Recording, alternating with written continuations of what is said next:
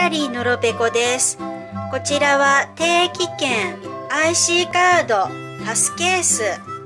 かわいい猫の生地です。このような感じで紐がついています。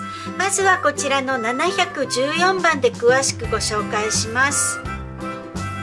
バッグにセットするとさっと取り出せて便利です。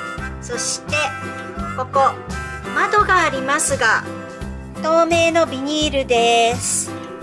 内側には肉球のスタンプ。こちらは猫が干されている生地です。形は同じです。こちらは同じ生地で色違い。番号がこちら緑が928番でオレンジが929番です。